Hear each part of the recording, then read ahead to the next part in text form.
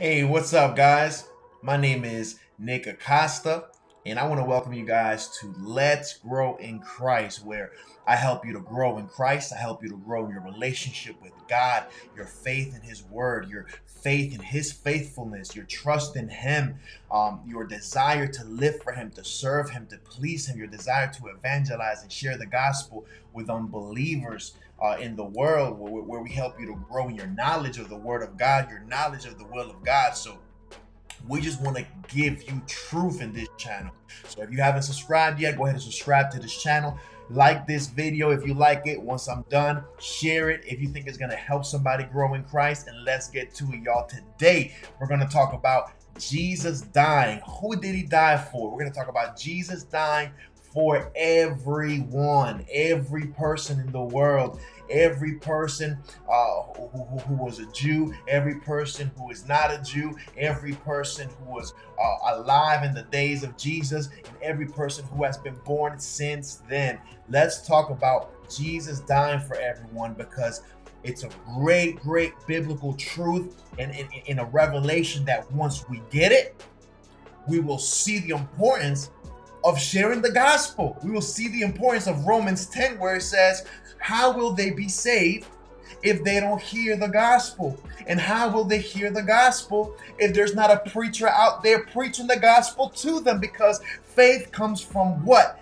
Actually hearing what to have faith in, hearing the word of God. That's what Romans 10 teaches. It says that people can only have faith if they hear the message that they're supposed to have faith in. And that's the message of Jesus. So let's grow. Let's talk about it. I want to show you a couple of scriptures, guys. We're going to start with John, of course, John 3:16.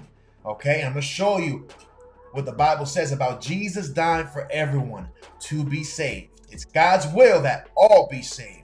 Check it out.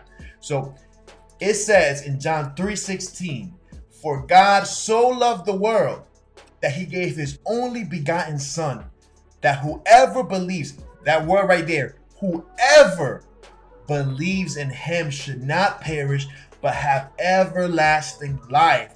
So we see that it connects with the rest of the scriptures that tell us people must believe in him. Uh, but it shows that key word right here, whoever. That points to anybody, everybody, according to the will of God, everybody right?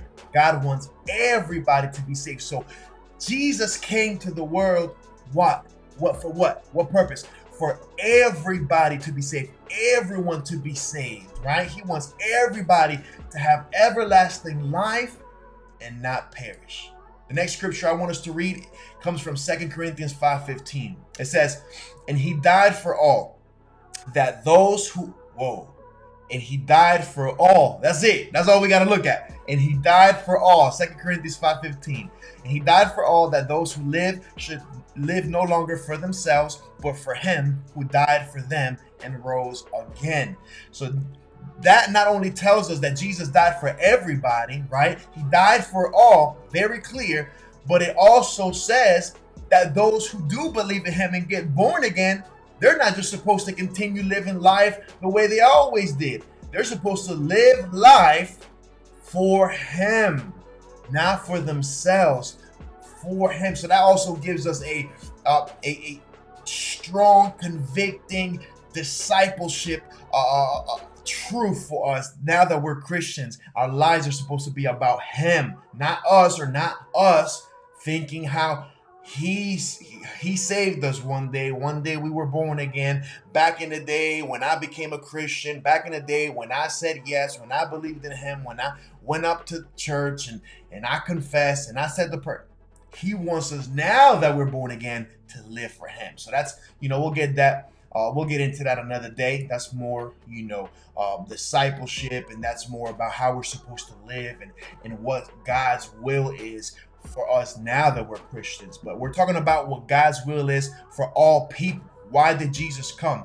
First Timothy 2 4 says, Who desires, talking about God, right? Who desires all men to be saved and to come to the knowledge of the truth.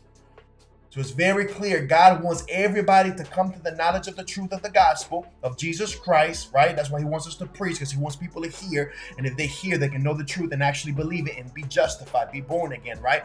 So it's God's will that all men be saved and come to the knowledge of the truth. It's so clear. The next scripture we're going to look at, guys, is Second Peter 3 9. It says, The Lord is not slack concerning his promise, as some count slackness, but is long suffering toward us, not willing. This is God's will right here. Not willing. So this, this is saying that God does not will for this to be. Not willing that any should perish, but that all should come to repentance. So it's telling us it is not God's will that people perish in hell, that people die without being followers of Jesus. People who do his word, who follow his teachings and commandments and instructions and live the same life that Christ lived. It's not his will that anybody goes to hell because they stayed in their sins and the wages of their sin is, is, is, is death, is hell, right? but it's his will right there. It says, but. So that's it changes. It changes the thought. So it says, God doesn't want anybody to perish, but he does want this, right? He wants that all should come to repentance. It's so clear.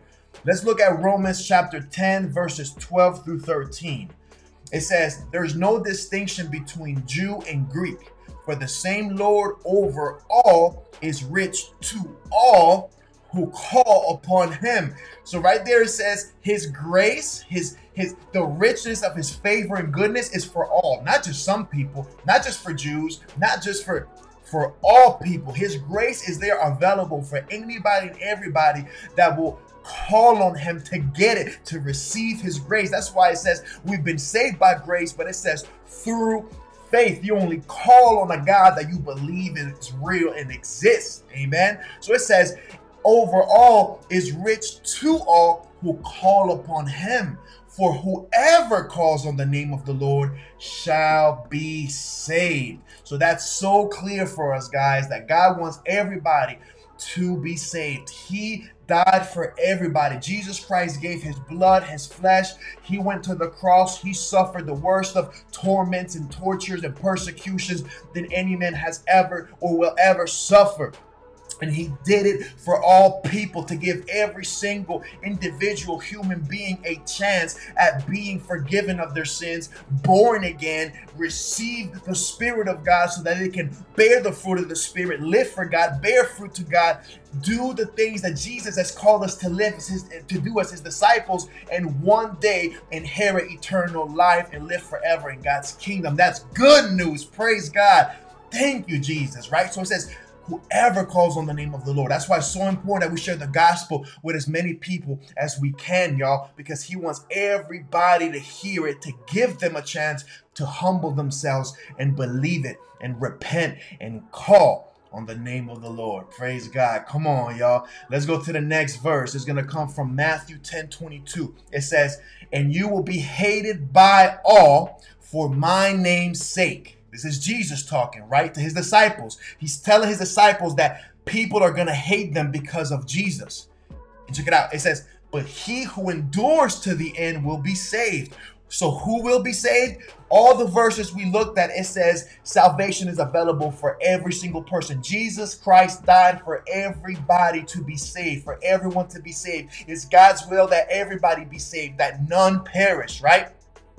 But then Jesus teaches those who are already his followers, his disciples, he says to them, He who endures to the end will be saved.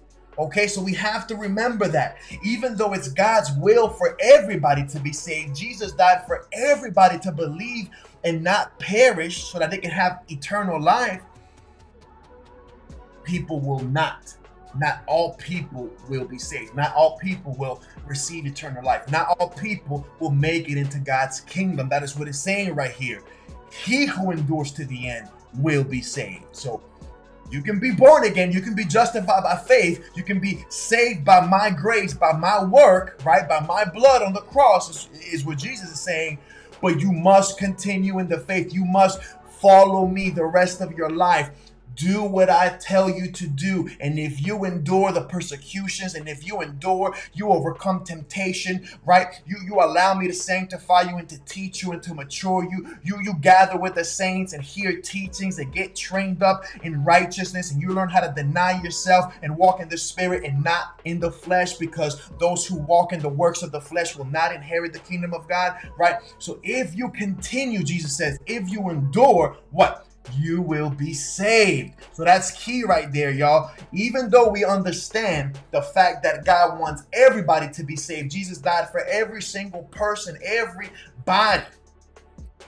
Not everybody will be saved. Not everybody will make it to the kingdom of God. Not everybody will have eternal life. Only those who, of course, believe in Him and call on Him and follow Him. But Jesus said, those who endure, not for a little bit, to the end. That's why that's why preachers like me were so passionate about emphasizing that church attendance will not help you make it to the kingdom of God. Because if all you do is go to church once or twice a week, but you're not really in relationship with God, you don't know Him, you're not asking Him to teach you and to convict you and to give you wisdom, you're not reading His word to learn His will and apply it to your life and become doers of the word and not hearers only like James says, right? If you're not doing that, chances are you're not going to endure to the end. You're not going to overcome temptation. You're not going to walk in the spirit. You're not going to submit to God and resist the devil if you're not growing spiritually. If you're not feeding your mind and renewing your mind with the truth of God and applying it so that you can be transformed. That's why it's so important that we get discipled that we get serious about God, that we stop playing and acting like Christianity is just an attendance thing or a Facebook post, Instagram picture thing. No, it must be a lifestyle because we must grow so strong in the spirit and, and, and, and so committed and devoted to the things of the Lord that we actually overcome by faith, endure to the end, fight the good fight of faith, and run the race with endurance that is set before us all the way until we die or until the Lord comes back and he says to us, Well done, you endure to the end. Here's the crown of life, here's the crown of righteousness. Welcome into my kingdom, uh, faithful servant. Well done. Come on, I have a mansion for you. Come in. It's so important that we endure. So God wants everybody to be saved. He wants everybody to believe. Jesus died for everyone to be saved, but not everybody will be saved. Unfortunately, that's the bad news. But that's why it's so important that we get out there and we preach the gospel to the lost. We share the gospel. That's why he says we are to be his witnesses. Amen. Check out Luke uh, chapter 13, verses 25 to 28, guys. It says, This is Jesus talking a parable, but a prophecy of what's to come in the future, right? When he's judging, right? When, you know, in, in the book of Revelation, this is this is a parable, but it's a future teaching, warning, prophecy about those who say Lord, aka those who confess Jesus and who think they're gonna make it and be saved and enter his kingdom, but Jesus says otherwise. It says, when once the master of the house has risen up and shut the door, and you begin to stand outside and knock at the door, saying, Lord, Lord, open up for us. And he will answer and say to you, I do not know you. Where are you from? Then you will begin to say, We ate and drank in your presence, and you taught in our streets. Right? These are people who are there alive in the days of Jesus and who were paying attention to his teachings and following his ministry. So that it's not that's not what it's about. You you could go to church and conferences and read Christian books and hear all these sermons and messages and know what Jesus did in his lifetime and how he treated his disciples and this and that. Verse 27 says this, guys, but he will say, I tell you, I do not know you. Where are you from? Depart from me, all you workers of iniquity.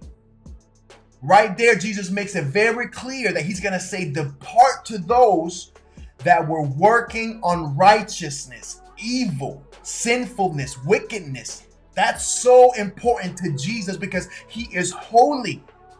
Amen. He has called us to follow him. He's given us his word, teachers in the body of Christ, his own example, but also his own very spirit, so that we can walk in his ways.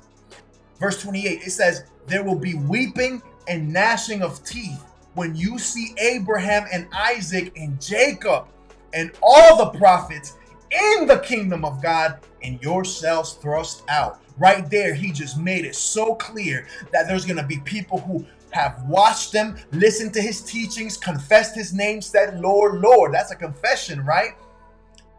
And because of their lifestyle, because he does not know them and they live in sin, he will tell them they cannot come into his kingdom where all the righteous prophets and all the righteous people who were justified by their faith in him, such as Abraham, Isaac, and Jacob, are going to be. You're not going to be able to come into God's kingdom if you're not truly following Jesus and living the way he's called you to live as a disciple so important. So this is another passage that makes it so clear to us that not all people will make it to his kingdom. Not all will be saved. It's God's will that they all be saved, but not all will be saved, unfortunately. Matthew 7 21. Not everyone who says to me, Lord, Lord, shall enter the kingdom of heaven, but he who does the will of my Father in heaven. So, right there, Jesus again says the same thing, emphasizes the same warning in teaching to us. Just because you confess me doesn't mean I'm going to let you into my kingdom. The way I'm going to let you into my kingdom is if, of course, you know me, you believe in me, you follow me, but you also do the will of my Father. That's vital, guys. And here's the very last verse for you guys. This is such a good video. I want you guys to like this video, leave a comment, let me know if all these scriptures, because they are straight from the Bible, y'all, if all these scriptures are helping things make sense to you in your mind, or bringing things to a clear perspective of what God's real will is for not just unbelievers to be saved, but for believers who are already uh, following Jesus or who already believe and confess in Jesus, what His will is for us to do, how He wants us to live, so that we can make it to His kingdom, have eternal life, and really be saved. Because salvation has not been completed.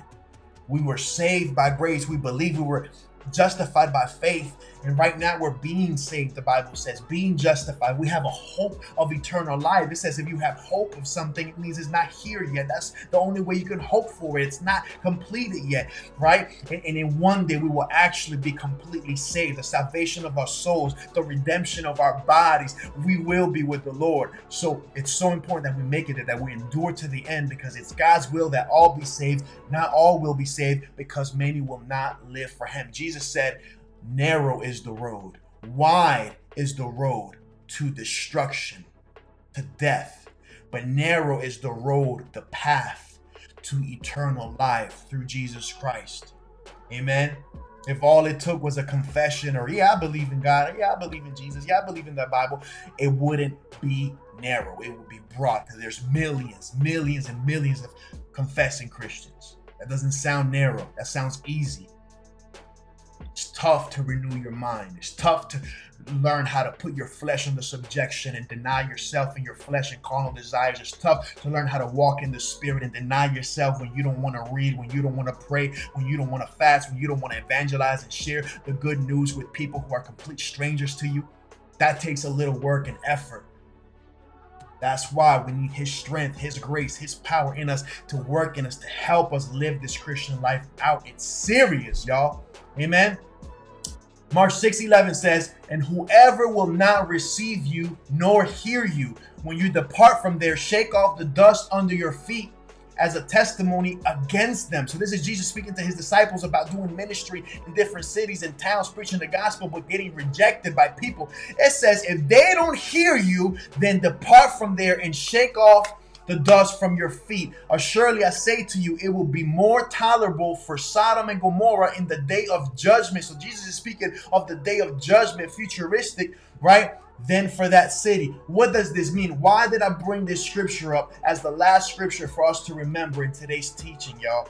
Because it's another clear indication that not all will be saved, and that even though you preach the gospel to people and share the truth, the good news of Jesus to people, people will reject the message, people will reject you. And Jesus is saying, he knows many are not going to receive the message. They will not believe and just keep it moving because if they don't believe, if they don't receive the message, one day they, they will all be judged just like everybody, right? And guess what? It's not going to be good. They're going to be judged and it's going to be better, more tolerable for Sodom and Gomorrah than them um, in judgment day. So it's a very, very serious thing, guys. So Jesus is saying, I died for everybody. Jesus died for everybody to be saved. Jesus shed his blood for the whole world. God so loved the whole world that he gave his only begotten son so that we don't perish but have everlasting life. But all the other scriptures show us that not everybody's going to be saved, even though it's God's will for everybody to be saved. Not everybody's going to be saved. People will reject the message. People will hate Christians in Christ and reject the good news of him. And guess what? They're gonna receive judgment. They're gonna perish. There's even gonna be people who confess Jesus, who say they believe in Jesus. But James says, faith without works is dead. And there's gonna be people who come to Jesus on judgment day, say, Hey, Lord, Lord, hey, welcome me into your kingdom. He's gonna say, I never knew you. Depart from me. You are a worker of sin. You did not endure to the end. You gave up when that money tempted you, when that woman tempted you, when your ex tempted you, when that divorce tempted you, when that homosexuality tempted you and crept back into your life because you got molested when you were a child, you did not overcome temptation. You did not walk in my spirit. You did not be, uh, become a doer of my word. But instead, you disobeyed me. You did not overcome. You did not persevere. You did not make it. You did not endure, so I'm sorry. I gave you years and years of time, of chances to live for me, to follow me, and to endure, to fight the good fight of faith. But you worked iniquity. So depart from me, where there's weeping and gnashing of teeth. That's horrible. I know God doesn't want to do that. Um, but God is so righteous and just that he sends wicked and wickedness where it's supposed to go, just like the devil and his angels. You read all the Psalms and, and, and all the verses in the New Testament that are positive and have good things about the righteous and the just, but you will, uh, along that same place, you will see the negative statements about the unrighteous and the wicked and how God gives to the just rewards that are good and gives to the unrighteous rewards that are bad. That's just who God is. He's more fair than a parent who grounds his son. He's more fair than a a 40 year old father who kicks out his 18 year old son for stealing all his stuff and, and, and, and bringing drugs and bringing crime to his house. He's, he, he's more just than a father who kicks his son out his house because he's not following the house rules.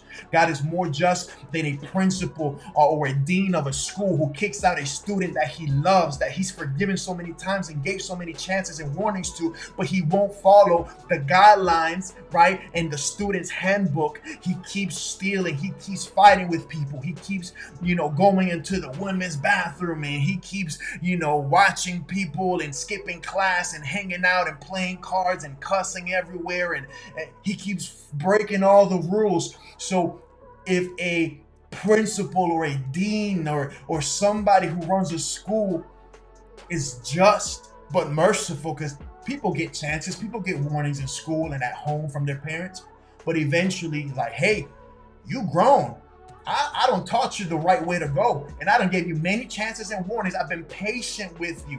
Just like that verse says um, in, in, in 2 Corinthians 3 9, the Lord is not slack concerning his promise, as some count slackness, but is long suffering toward us. That means patient toward us. He's been so patient toward us, right? People are just and righteous because they will kick somebody out of a place that has been good to them and has been merciful and patient with them, but they don't follow the rules. That's just how Jesus is.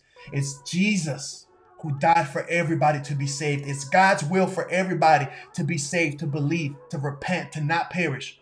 But many will perish. Many will go to hell for eternity and suffer punishment for eternity because they will not believe, they will not follow, and they will not endure to the end, keeping his word. The Bible says, Be a doer of the word, not a hearer only. The Bible says that Jesus said, why do you call me Lord, Lord, and not do what I say? That's so important to him. So, guys, I hope this helped you, this convicted you, this blessed you. And I know somebody needs to hear it other than you. So please hit that share button. Share this on your Facebook, on your Twitter. Share the, the, the, the thumbnail on your Instagram, whatever you got to do to get this message out. Because there's so many people who are not taking God seriously because they think all they had to do was, you know, believe a little bit and, and confess and go to church, but they're, they're not going to make it to the end. So therefore, he's not going to allow them into his kingdom. Then there's a lot of people who just don't believe in God. They don't believe in Jesus, in the gospel. They haven't been born again because Christians like us are not out sharing the gospel with unbelievers. We're not evangelizing. We're not being the witnesses that Jesus commanded us to be. Okay? So share this video because there's a lot of Christians who think God chooses who to be saved, who not to. Jesus died for everybody to be saved. So we have to preach the gospel so that they can hear it, know it, believe it, and be born again. You know, and we know many are not going to believe, many are not going to be born again. But we don't know who's who. So we have to preach it to as many people as we can. Let's get out there. So share this video, take God seriously, take evangelism seriously and if, you, if if you're not following Jesus, if you if you haven't believed in Jesus all your life, and you're just not watching this video, listen. You're only gonna live here so many years. Not even. You might have an accident tomorrow.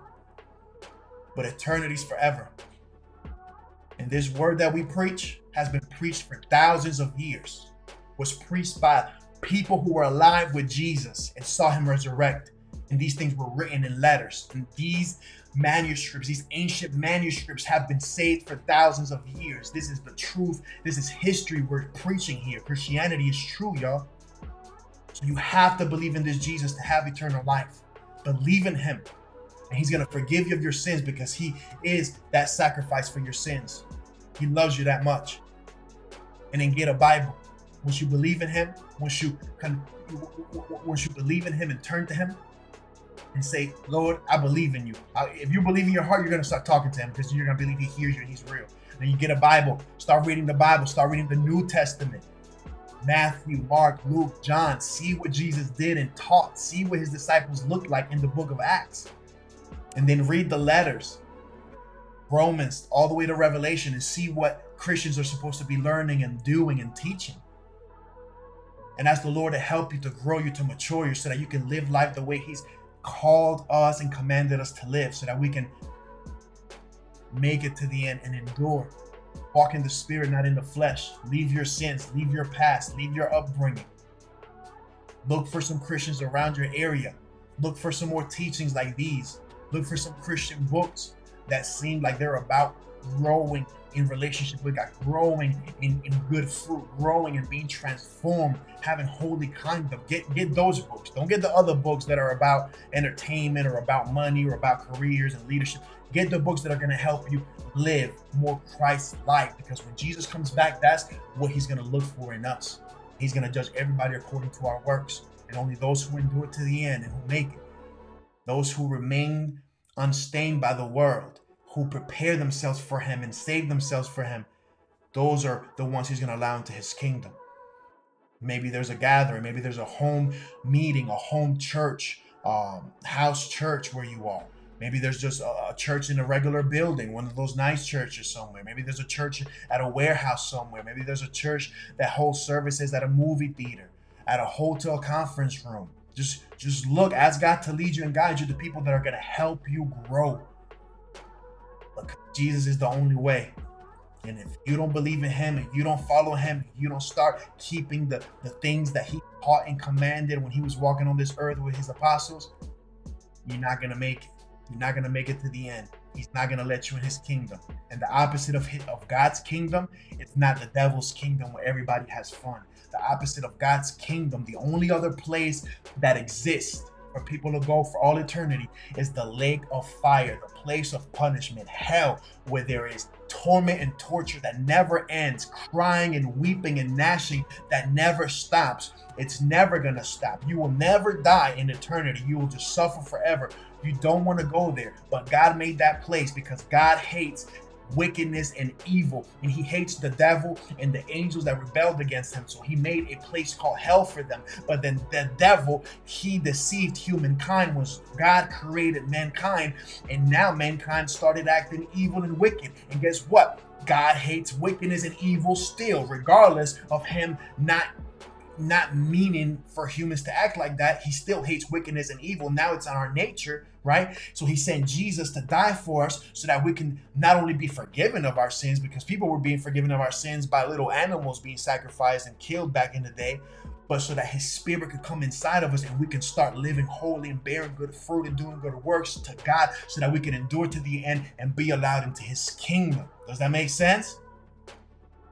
So hell was made for wickedness and evil and the devil satan he transferred that to humanity that's why we have to be born again meaning we have to receive his spirit in us to make us new creations a new people with a new identity new purpose new potential the holy spirit so we can live in the spirit and please god the bible says he who walks in the flesh, this is your flesh, your body, carnality, where sin is. He who walks in the flesh, he who walks sinfully, cannot please God. Only those who walk in the spirit. Bless you guys grow in Christ, continue to grow. Share this video. People need to hear this. Subscribe to this YouTube channel.